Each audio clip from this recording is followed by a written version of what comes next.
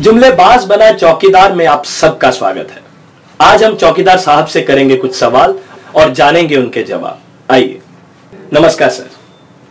Sir 2014 में आपने दो करोड़ जॉब्स का वादा किया। क्या किया आपने? बालाकोट पे हमला। सर किसान मर रहे हैं। न्यूनतम समर्थन मूल्य क्यों नहीं लागू हुआ? हमें पाकिस्तान पर हमला करना था। नोटबंदी का क्या फ़ायदा होगा? हमने पाकिस्तानियों को उनके घर में घुस के मारा। पंद्रह लाख का हिसाब कौन देगा चौकीदार साहब? हम बालाकोट की जीत का जश्न मनाने में व्यस्त थे। अच्छा है।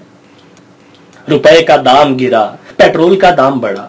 आप क्या कर रहे थे? रात को तीन बजे पाकिस्तान में घुसकर हमला किया।